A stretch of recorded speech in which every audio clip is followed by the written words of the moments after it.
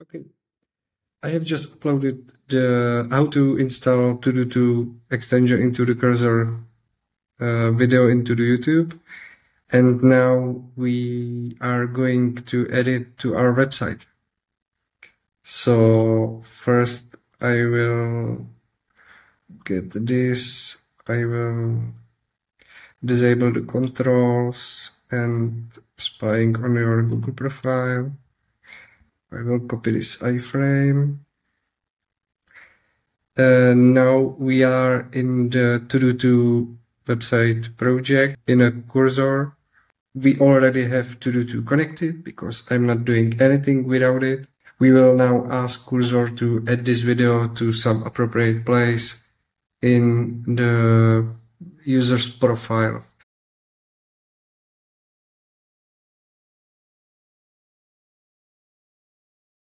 So now we have this acceptation criteria for this task, which Todo2 uh, Cursor created. And video is embedded using the provided iframe. Yep. Video is placed in a logical location on the dashboard. Yep. Video has appropriate styling. I don't know if it has to do anything at all, but we will see and uh, section has clear heading. Okay, we will see how it will look. He also did some research about uh, YouTube video responsiveness and how it should be placed into the website. So we have this research here.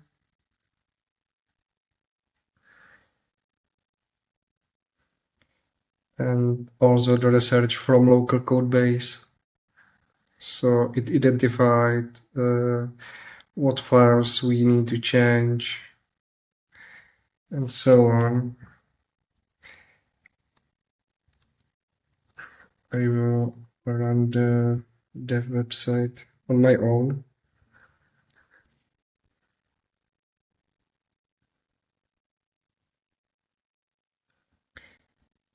Okay. Skip.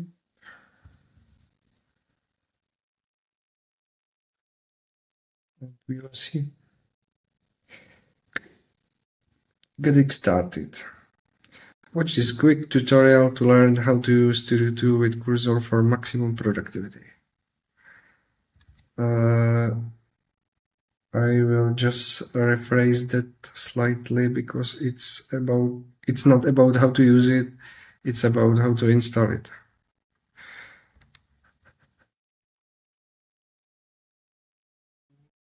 See that it will place the video into the how to section.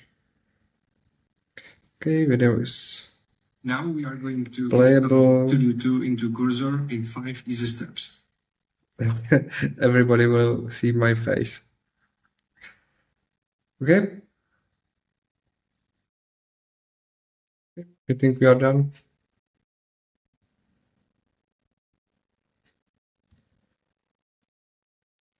Accept. Now the task. Uh, we should have some result command after the task finishes and move it to the review column.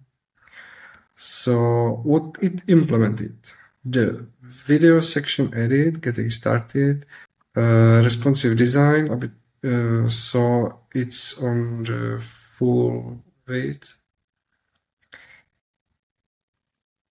Okay. It took no cookie.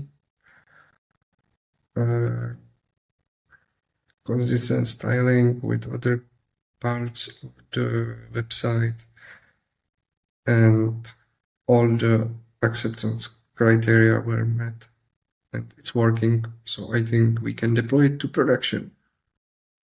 Thank you for watching.